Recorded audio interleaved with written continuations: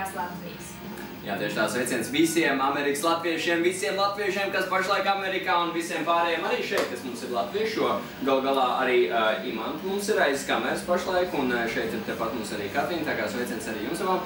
Vienmēr sakot, sveicieni ir visiem un tie sveicieni būs tagad ik pa laiciņam. Mēģināsim nodot šos sveicienus un arī kādu informāciju par to, ko tad mēs šeit mūsu mazajā mīļajā Latvijā darām tieši tāpēc. Jo mūsu galvenais mērķis ir pavērt jums lodziņu uz Latviju. Jā, šis ir lodziņš. Ok, labi, labi. Šis ir lodziņš. Un par šo mēs mēģināsim jums kaut kādā veidā apgaismot par to, kas notiek šeit un iepriecināt katru mēnesi. Tieši tā. Um, par ko mēs pirmajā mūsu jubilejas super pirmajā tikko dzimušajā raidījumā runāsim. Un mēs jūs apsveicam, ka tieši jūs esat tie, kas redz šo pirmo brīnišķīgo raidījumu. Jā, sāksim laikam ar to, ka uh, septembris jau rīt pilnā sparām. Septembris patiesībā jau iet lēnām uz beigām. Bet 1. septembris ir uh, īpaša diena, Un laikam sevišķi īpaši tā ir tieši Latvijā, jo ja Amerikā sākās mācības dažiem augustā, dažiem vēl kādā citā laikā, tad Latvijā visi bērni iet uz skolu 1. septembrī. Jā, un tas nekad nemainās. Un visiem skolu, jā, tieši tā, Katrīna mums suplē, kas mums ir jāpastāsta, un mēs to noteikti neaizmirsām, jo Tad, kad tu ej 1. septembrī pa ielu, tu zini, ka ir svētki, jo visur ir visi sapucējušies. Gan lielie, jo vēd mazos uz skolām, gan mazie, jo viņi iet uz savu pirmo skolas dienu, kas ir lieli, skaisti svētki. Meitenēm ir bantes matos, puišiem ir uzvalciņi vai vienkārši formāli tērpi kaut kādi. Un uh, visiem ir rokās ziedi. Kāpēc, Jāni, visiem rokās ir puķis? Lai iedod skolotājiem tās puķis, tādai kā tev, lai iedod puķis. Tieši tā, un lai apsveikt skolotājs ar pirmo darba dienu, principā, lielo nopietno, un lai arī vispār ir svētku noskaņa, jo mācības taču ir svētki, vai ne? Tas ir prieks. Jā, cerams, ka visi skolēni tā arī domā. Tie, kas nezin, starp citu, Ilze ir skolotāji Latvijā, um, tiešām cēls darbs neskatoties uz dažādiem blakus apstākļiem, tomēr Ilze māca jauno paudzi tā, lai visi augtu latviskā un pareizā garā. Nu, un Jānim varbūt netik cēls darbs, jā, bet viņš strādā šeit, šeit. studijā. Katru dienu. Tieši tāpēc mēs esam, varam izmantot šo brīnišķīgo iespēju ar jums parunāt. Tā kā tas ir Jānis, jā, un, un es esmu Ilze, un mēs uh, mēģināsim būt ar jums uh, kopā ikmēnes. Labi, par aktualitātēm. Tātad 1. septembris ir aizvadīts, kas mums vēl ir aktuāls? Mēs arī esam aktuāli, jūs arī esat aktuāli, bet uh, vēl mums ir uh, septembrī diezgan tāds liels, nu jāsaka tiešām liels notikums, uz ko ļoti daudz cilvēku bija Rīgā aizgājuši, muzikāls notikums, Prāta vētras koncerts. Ko tu domā? Tas ir viens no prāta vētras hītiem. Un, uh, un tas bija milzīgs projekts, jo atšķirībā no citiem gadiem Prāta vētra šobrīd uh, izmantoja tukšu laukumu Rīgas uh, centra tuvumā, kas bija Hanzas tirzniecības laukums, kur tiks būvēts liels kaut kāds nopietnas projekts, bet viņi vienkārši tukšu pļavu gandrīz Rīgas centrā paņēma un uzbūvēja tur skatuvi un sapulcināja ļoti, ļoti daudz cilvēku, kas pārsita rekordu, cik vispār ir bijuši cilvēku prāts vērts koncertu. Tad te mēs varam astīties mazu video, kā uh, no mana kā skatītāja punktu gāja šajā koncertā. Tu arī biji? Nu, jā, tu arī biji. Es nebiju, skatāmies.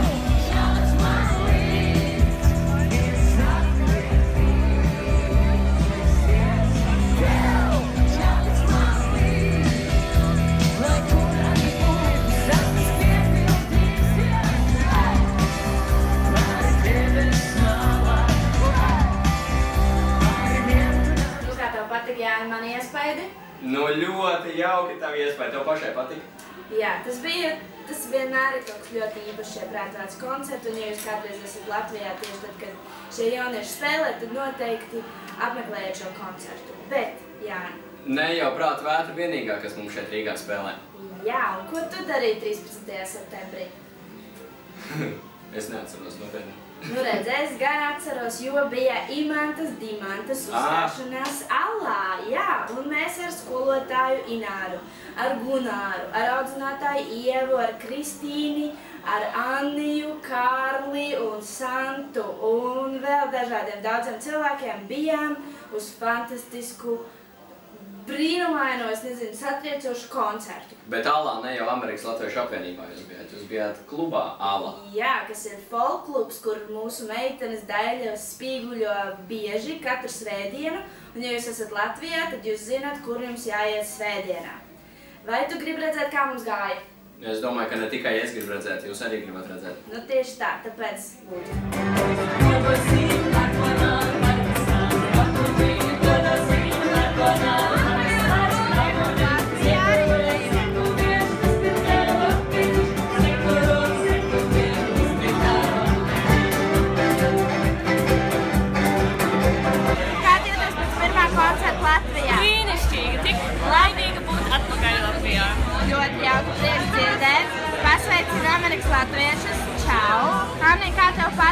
Patika koncerts? Super, viņš vienkārši pasaules klase.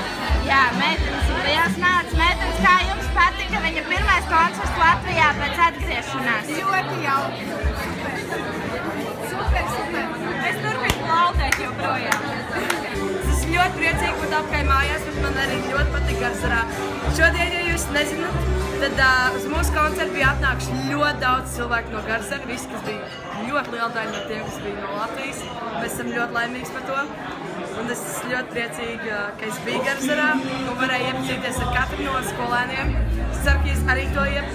Es ceru, ka jums arī patika, ka jūs man satikāt.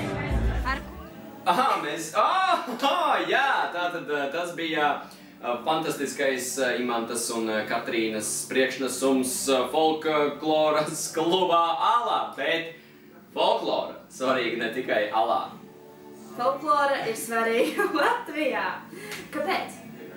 Kāpēc? Jo 11. septembrī Latvijā svinēja mūsu dzējas dižgara laba un slavena cilvēka, kurš Latvijai devis tiešām ļoti daudz, Raiņa 150. dzimšanas diena. Un tieši par godu Raiņa lielajai jubilejai Latvijas Nacionālais teātris ir uzvedis īpašu lugu Uguns un nakts. Jāni, vai tu zini, uz ko ir balstīta šī lugas sižeta līnija? Jā, sižetlīnija ir balstīta uz uh, Andreja Pumpura, mūsu arī viena no dižākajiem, gribētos teikt, uh, rakstniekiem, eposu Lāčplēsis. Noteikti, ka nu, ne tikai mēs, to zina pilnīgi visi latvieši. Tieši tā, un tāpēc šī luga ir fantastiska, un es arī uh, devos uz šo lugu ar saviem skolēniem. Redzēsim, ko jaunā paudze domā par šo moderno, uh, fantastisko pārnesumu vēsturisko mūsdienās. Uh, mēs nostājāmies šo lūgu pirms pāris nedēļām, un es uzskatu, ka pirmais cēlonis bija ļoti nesaprotams, jo mēs nekā nebijām lasījuši šo grāmatu. Otrais jau bija labāk, jo varēja saprast daļu, kas tur bija domāts. Jā, mēs nostājāmies, un uh, pirmais cēlonis bija ļoti traks, mēs neko nesapratām, negodīgi sakot. Otrais jau bija labāks, par mūsdienām vairāk, bet uh, jānoskatās, tiešām jānoskatās. Um, es uzskatu, ka pirmā cēlonis bija vairāk kā protivības skatījums to visu. Un, bet jā, tiešām vajag izlasīt grāmatu, lai visi varētu saprast, kas ir rakstīts. Bet otrais cēlonis, jā, kā viņi saka, ir ļoti saprotams un ļoti labi skatāms. Galvenais ir Bet jo, īstenībā bija ļoti labi uh, izrādi.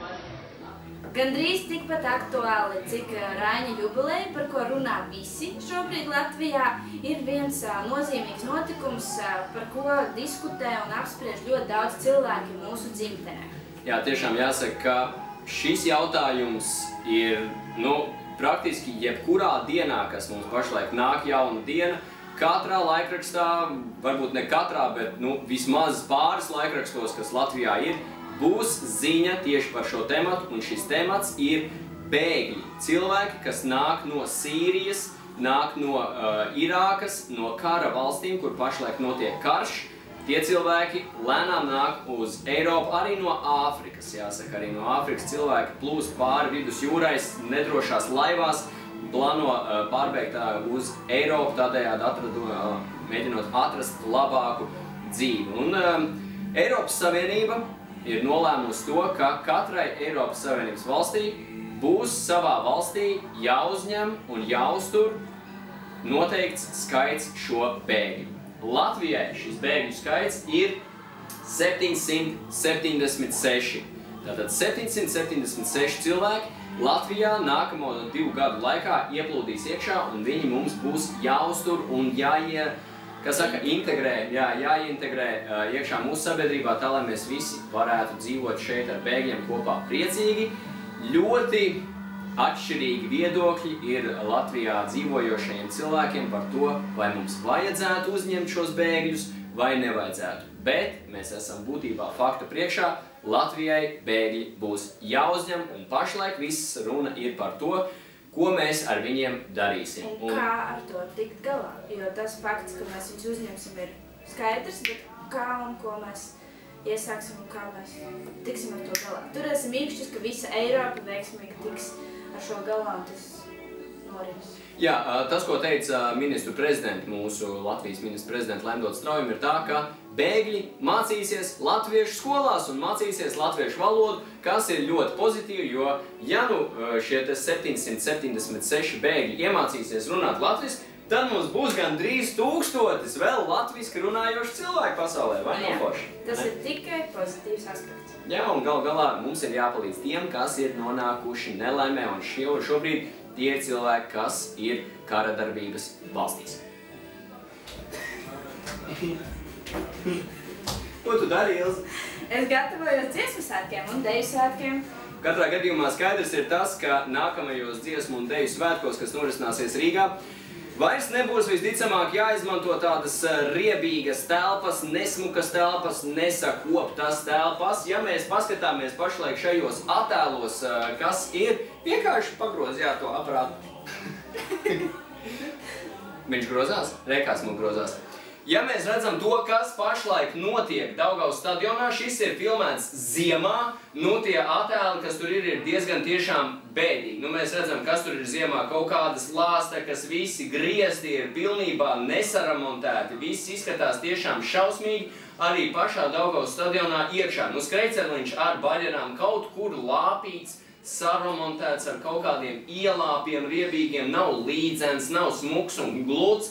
Nu tad Tā doma ir Daugavas stadionu uztaisīt tiešām ļoti jauku. Šeit ir tāda bilde, kur tad ir parādīts, kāds tad viņš izskatīsies renovēts. Nu, un tad jau arī tas viss izskatīsies daudz, daudz, daudz skaistāk. Nu, lūk, tur ir viss teritorijas, infrastruktūras plāns un jaunas stāvvietas, kur nolikt mašīnu. Tāpat arī kultūras centrs, eh, lūk, šeit ar astoto numuru, tur, kur varēs notikt ne tikai sanāksmes un kaut kas tam līdzīgs, bet arī mākslas darba izstādes un citas vietas. Vienmēr sakot, ko, kas ir galvenais, viss tiks atjaunots un dziesmu un deju svētki varēs notikt pavisam skaistā un jaukā vietā, nevis tādu, kādu mēs redzējām, kāda tā ir pašlaik. Un tā ir laba ziņa ne tikai Latvijai kopumā, bet arī jums un mums, tāpēc, ka arī vietu skaits tiks ievērojami palielināts un būs uh, iespēja vērot šo skaisto notikumu daudz vairāk cilvēkiem. Tāpēc lieliski! Jā, un eh, starp citu Daugavas stadions nav vienīgais, ko taisās atjaunot Rīgā.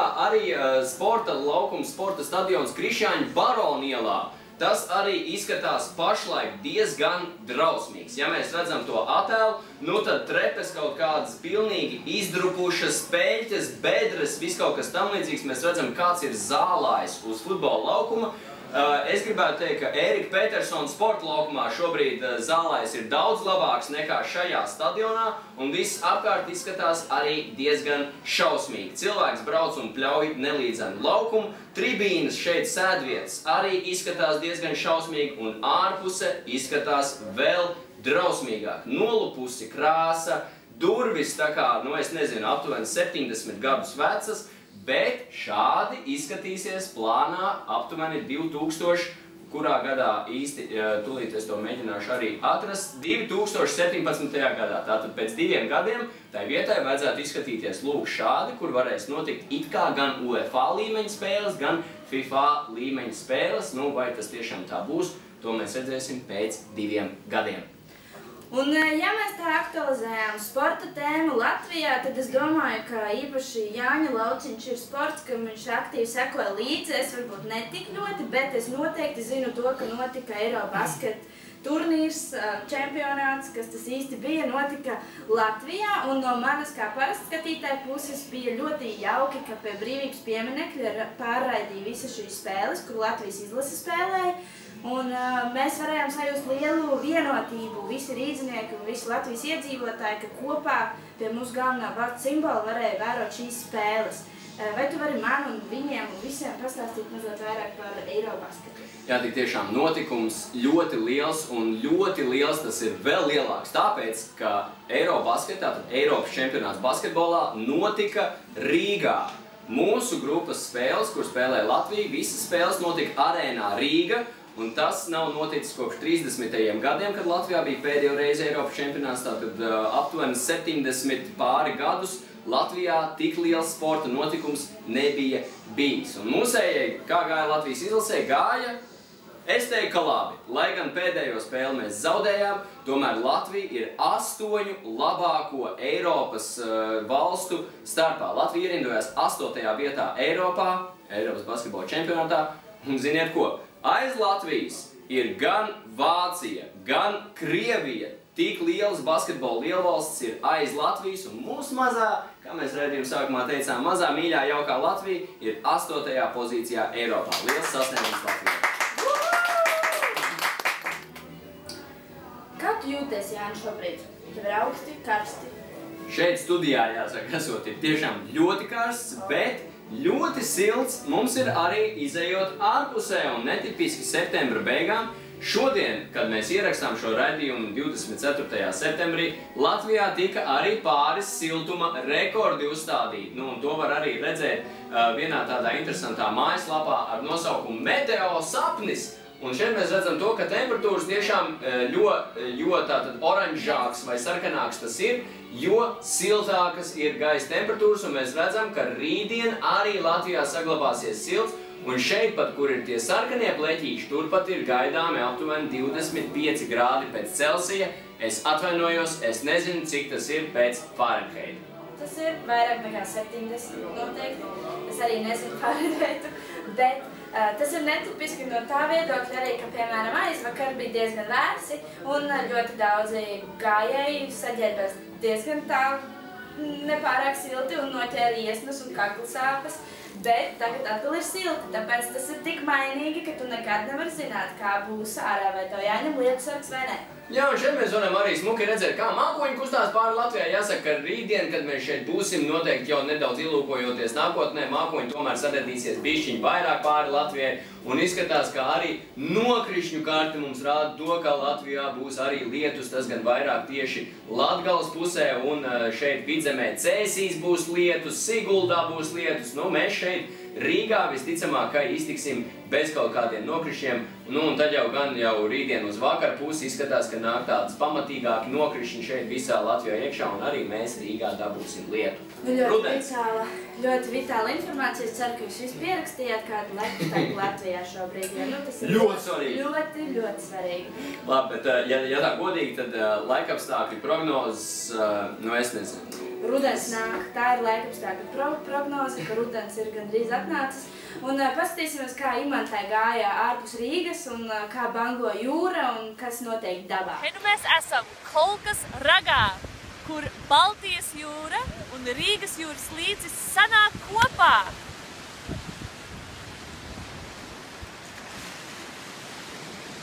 Un esam atpakaļ atgriežušies no šī fantastiskā dabas skatu ainavas, no visa tā, kas notiek pašlaik Latvijā dabā. Un eh, kamēr mēs eh, bijām dabā, tikmēr eh, mums ir viens cilvēks pie lodziņa atnācis. Un šis cilvēks Labvakar! Katrīna! Čau! Sveika? Pastāstīšu jums par to, kas ir noticis mūzikas pasaulē, kādas interesantas lietas, arī kādu faktu par folkloru, ja esat jau sailgojušies. Jā, arī mēs atgriezāmies nedaudz vēlāk no Amerikas un uzspēlējām Rietumu krasta dziesmu svētkos. Kā jums tur gāja? Gāja ļoti labi. Mēs bijām ļoti priecīgi tur. Un uh, atgriezāmies Latvijā, jau redzējāt video, kā mēs spēlējām alā.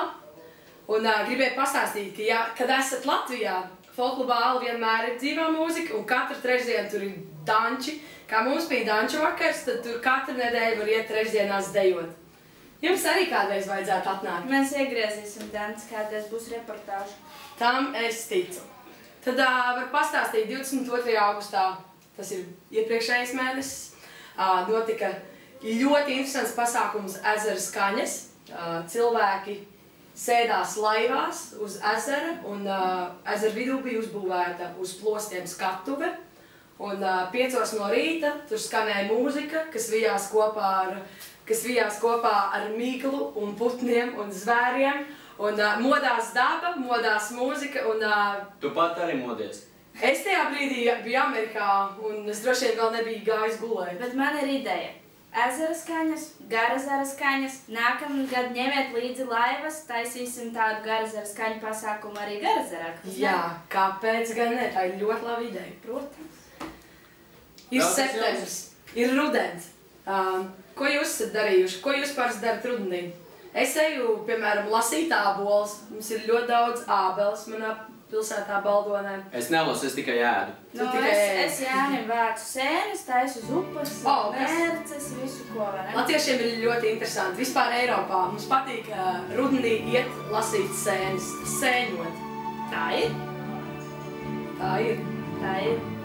Tā kā jūs labāk Amerikā neatkārtojat no un nevāciet uz zemes eh, mežos eh, to, ko jūs tur redzat, bet, bet sēnes Latvijā gan nāciet un vāciet.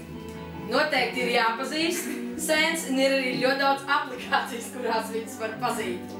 Bet, nu, iemācieties sēņu nosaukumus līdz pēdējam, kā ir gailanīt, un tā un tad braukam, braucam uz Latviju. Bēgas. Bet, ja mēs atgriežamies atpakaļ mežā, tad, uh, mežā, ja mēs atgriežamies atpakaļ pilsētā, tad uh, Nacionālais teātris ir atsācis savu sezonu, arī opera, un uh, visur atgriežas dzīvība, mūzika. Re, kā jūs bijāt arī uz Ugudu nakti, Es nebiju tur. Viņa bija divas reizes.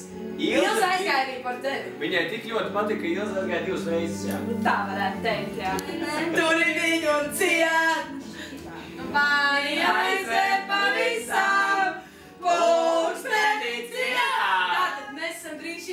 studijā, kur strādā Jānis. Un, uh, ja nu jums ir brīnišķīga iespēja, tad uh, aiz Šī loga, šī loga, kas mums te ir pretī, aiz imants muguras, jā.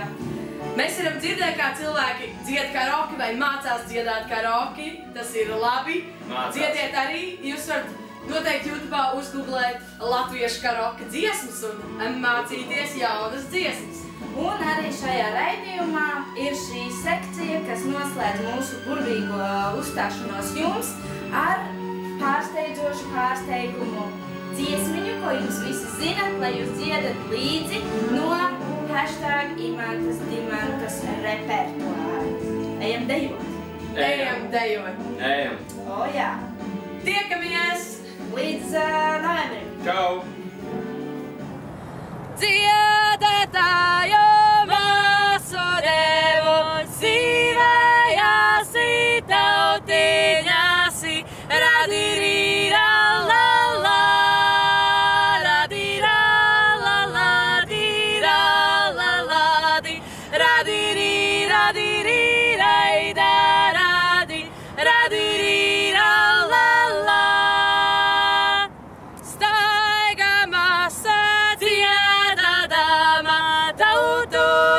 Christmas and